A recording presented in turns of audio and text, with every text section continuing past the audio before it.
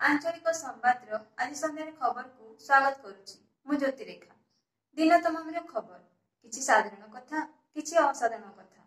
ଆସନ୍ତୁ ଦିନ ତମାମର ଖବର ଉପରେ ଏଥର ନଜର ପକାଇବା। ଗତ କିଛି ଦିନ ଧରି ବେଶ ଆଶଙ୍କାରେ ସମସ୍ତେ। ଚଉଦ ଦିନିଆ ଲକଡାଉନ ଆରମ୍ଭ ପୂର୍ବରୁ ଯେପରି ଭିଡ଼ ବଢ଼ିଥିଲା ତାହା ଲୋକଙ୍କୁ ବେଶୀ ଆତଙ୍କିତ କରିଥିଲା। ସରକାର ସକାଳ ଛଅରୁ ଦିନ ବାର ମଧ୍ୟରେ ନିତ୍ୟ ବ୍ୟବହାର୍ଯ୍ୟ ସାମଗ୍ରୀ କିଣିପାରିବେ ଓ ତାହା ପୁଣି ନିଜ ପାଖରେ ପାଖରେ ବୋଲି ଘୋଷଣା କରିଥିଲେ। ବଲାଙ୍ଗୀର ଦୈନିକ ବଜାରକୁ ବ୍ୟାରିକେଡ୍ ଦେଇ ବନ୍ଦ କରାଯାଇଥିଲା। ଲୋକେ ଚାଲି ଚାଲି ଜିନିଷ କିଣୁଥିଲେ। ଆଜି ସକାଳେ ହଠାତ୍ ବଲାଙ୍ଗୀର ନୂଆ ଉପଜିଲ୍ଲାପାଳ ପହଞ୍ଚି ବଜାର ବନ୍ଦ କରିବାକୁ କହିବାରୁ ଯୁକ୍ତିତର୍କ ହୋଇଥିଲା। ଫଳରେ ବ୍ୟବସାୟୀମାନେ ପରିବାକୁ ରାସ୍ତା ଉପରେ ପକାଇ ଦେଇ ପ୍ରତିବାଦ କରିଥିଲେ। ପରେ ଉପଜିଲ୍ଲାପାଳଙ୍କ କାର୍ଯ୍ୟାଳୟରେ ବ୍ୟବସାୟୀ ଓ ସରକାରୀ ଅଧିକାରୀମାନଙ୍କ ଏକ ବୈଠକ ପରେ ଦୈନିକ ବଜାରକୁ ଲକଡାଉନ ପର୍ଯ୍ୟନ୍ତ ବନ୍ଦ କରିବା ପାଇଁ ନିଷ୍ପତ୍ତି ନିଆଯାଇଛି। ଏହା ସହ ପୂର୍ବରୁ ପରିବା ବିକ୍ରି ପାଇଁ ହାଟପଦାପଡ଼ା ଓ ପିଲେସ୍ ଲ୍ୟାଣ୍ଡଠାରେ ବିକ୍ରୟ କରିବା ପାଇଁ ସ୍ଥାନ ଦିଆଯାଇଥିବା ବେଳେ ଏବେ ଆହୁରି ଚାରିଟି ସ୍ଥାନରେ ପରିବା ବିକ୍ରି ପାଇଁ ବ୍ୟବସାୟୀମାନଙ୍କୁ କୁହାଯାଇଛି। ପୂର୍ବଥର ପରି କଳାମଣ୍ଡପ ପଡ଼ିଆ ସହିତ ଅଫିସର କ୍ଲବ ଶିଶୁ ଉଦ୍ୟାନ ପାଖରେ କଂସାରୀପଡ଼ା ନିକଟରେ ଥିବା ଆର୍ଏମ୍ସିରେ ଓ ଭାଗୀରଥୀ ଛକ ନିକଟରେ ପରିବା ବିକ୍ରି କରିବା ପାଇଁ ଜିଲ୍ଲା ପ୍ରଶାସନ ପକ୍ଷରୁ ଅନୁରୋଧ କରାଯାଇଛି। ଜନସାଧାରଣ କୌଣସି ପ୍ରକାର ଗୁଜବରେ ବିଶ୍ୱାସ ନ କରିବାକୁ ଓ ଯଥାସମ୍ଭବ ଘରେ ରହିବାକୁ ଅନୁରୋଧ କରାଯିବା ସହ ନିଜ ପାଖ ଥିବା ପରିବା ବଜାରରୁ ପରିବା କିଣିବାକୁ କୁହାଯାଇଛି।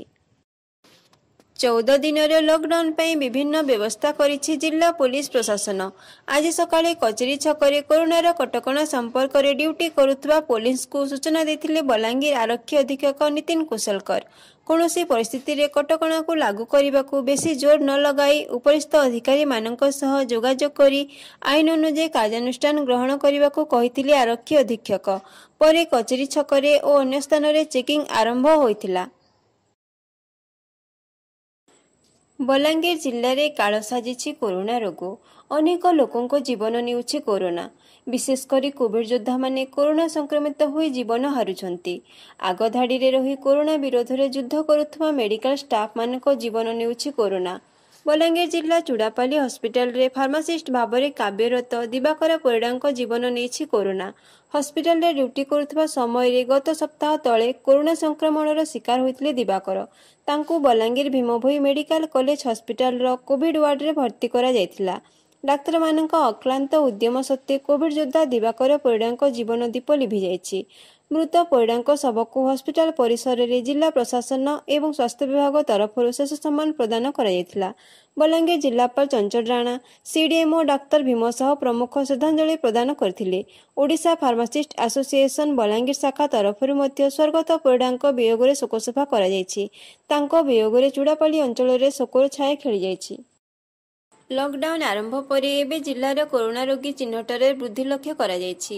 ଗତକାଲିର ପରୀକ୍ଷା ରିପୋର୍ଟରେ ବଲାଙ୍ଗୀର ଜିଲ୍ଲାରେ ତିନିଶହ ଛତିଶ ଜଣ ନୂଆ ସଂକ୍ରମିତ ରୋଗୀ ଚିହ୍ନଟ ହୋଇଛନ୍ତି। ଯେଉଁ ସଂଖ୍ୟାରେ ବଲାଙ୍ଗୀର ପୌରାଞ୍ଚଳରେ ଅଶୀ ଜଣ ଚିହ୍ନଟ ହୋଇଥିବା ଜଣାପଡ଼ିଛି। ଜିଲ୍ଲାରେ ମୋଟ ଦୁଇ ହଜାର ସାତଶହ ଅଣାନବେ ଜଣ କୋଭିଡ ସଂକ୍ରମିତ ଚିକିତ୍ସାଧୀନ ଥିବା ସରକାରୀ ସୂତ୍ରରୁ ଜଣାପଡ଼ିଛି। ସେହିପରି ବୌଦ୍ଧ ଜିଲ୍ଲାରେ ଗତକାଲି ଚିହ୍ନଟ ହୋଇଛନ୍ତି ଶହେ ଅଣତିରିଶ ଜଣ ସଂକ୍ରମିତ। ମୋଟ ଏକ ହଜାର ଅଠେଇଶ ଜଣ ଏବେ ଚିକିତ୍ସିତ ହେଉଥିବା ସରକାରୀ ଭାବରେ କୁହାଯାଇଛି। ବରଗଡ଼ ଜିଲ୍ଲାରେ ଗତକାଲି ଚିହ୍ନଟ ହୋଇଛନ୍ତି ଚାରିଶହ ତେୟାଅଶୀ ଜଣ ସଂକ୍ରମିତ। ସେହିପରି ସୁବର୍ଣ୍ଣପୁର ଜିଲ୍ଲାରେ ମଧ୍ୟ ସଂଖ୍ୟା ବଢ଼ିଥିବା ଲକ୍ଷ୍ୟ କରାଯାଇଛି। ଗତକାଲି ଶହେ ଅଠାବନ ଜଣ ସଂକ୍ରମିତ ଚିହ୍ନଟ ହୋଇଥିବା ସରକାରୀ ସୂତ୍ରରୁ ଜଣାପଡ଼ିଛି। ଆପଣମାନେ ଦେଖୁଛନ୍ତି ଆଞ୍ଚଳିକ ସମ୍ବାଦର ସନ୍ଧ୍ୟା ଖବର। ଆପଣମାନଙ୍କୁ କେମିତି ଲାଗୁଛି ଆମକୁ ଜଣାନ୍ତୁ କମେଣ୍ଟ କରି। ଲଗ୍ ଅନ୍ କରନ୍ତୁ ୟୁଟ୍ୟୁବରେ ଆଞ୍ଚଳିକ ସମ୍ବାଦ। ସବସ୍କ୍ରାଇବ୍ କରନ୍ତୁ। ସବୁଦିନ ଆମରି ସନ୍ଧ୍ୟା ଖବର ଦେଖିବା ପାଇଁ ନୋଟିଫିକେସନ୍ ପାଇବାକୁ ହେଲେ ବେଲ୍ ଆଇକନ୍କୁ କ୍ଲିକ୍ କରନ୍ତୁ। ଲାଇକ୍ କମେଣ୍ଟ ଓ ସେୟାର କରନ୍ତୁ।